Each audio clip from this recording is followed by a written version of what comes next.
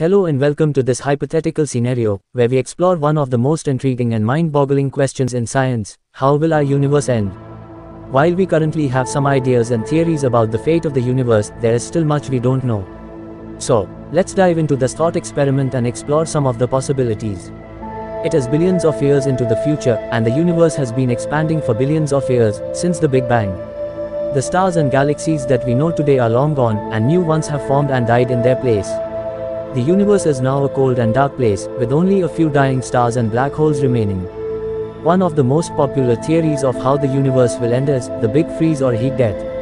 This theory suggests that as the universe continues to expand, it will eventually run out of energy, and all matter will be evenly spread out and cooled down, resulting in a state of maximum entropy. In other words, the universe will become a cold, dark, and lifeless place with no more energy left to sustain any form of life or activity. Another possibility is the Big Rip. This theory suggests that the universe's expansion will accelerate to the point where it overcomes the gravitational forces that hold matter together, causing everything to be torn apart.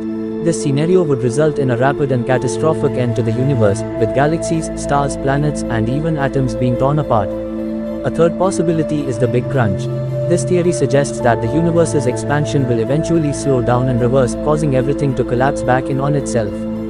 The universe would become denser and hotter until it reached a point of maximum density, at which point it would explode in a new Big Bang, starting the cycle all over again. While we don't know exactly how the universe will end, the possibilities are fascinating to think about. The universe's fate is determined by the underlying laws of physics, and we can only make educated guesses based on our current understanding of those laws. But one thing is for sure, the universe will continue to change and evolve, and the future is full of surprises. Thank you for joining me on this journey into the unknown.